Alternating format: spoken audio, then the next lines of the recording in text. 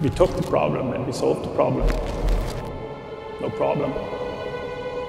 One crucial question remains.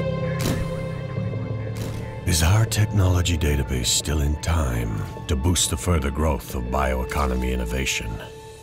It's a hell of a job to find and connect technology owners and bio-waste providers without a clear overview of what's happening in a quickly changing innovation ecosystem.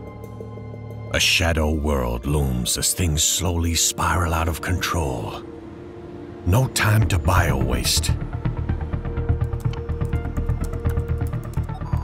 We built a database and populated it with bio-waste conversion technologies and corresponding technology owners.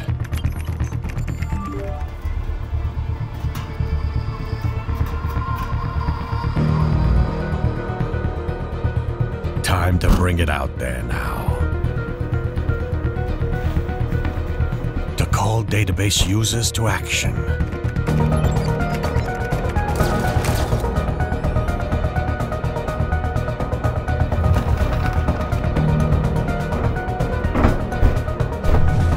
Time to matchmake technology owners with bio-waste providers.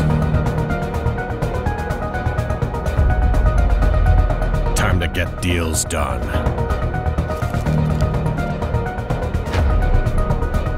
Out of the dark.